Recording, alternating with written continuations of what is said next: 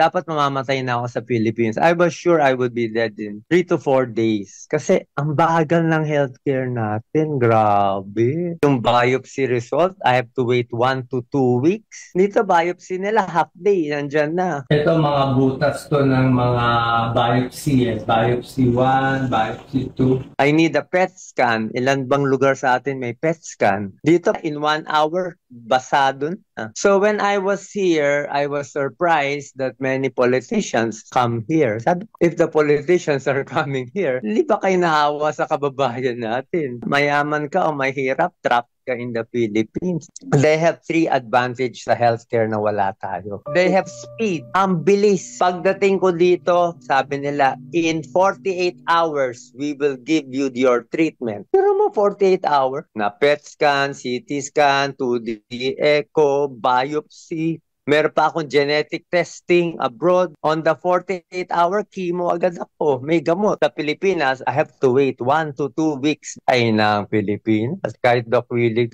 ay ka pa rin. Paano kung Mandela Cruz ka?